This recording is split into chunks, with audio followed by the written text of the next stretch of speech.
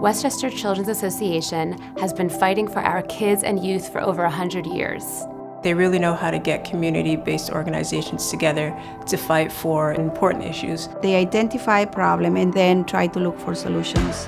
They just want to make sure that all kids succeed in life, whether it's graduating high school or, or going on to post-secondary education. WCA is involved in so many initiatives, whether it's GPS for Kids, Campaign for Kids, or home visiting. There's really no organization locally that actually has the resources and the time and energy to really make things matter for our most vulnerable children. Everyone at WCA conveys their enthusiasm for making sure Westchester children have a bright future. When you have advocates for kids, the kids have a chance, and WCA provides those kids with a chance.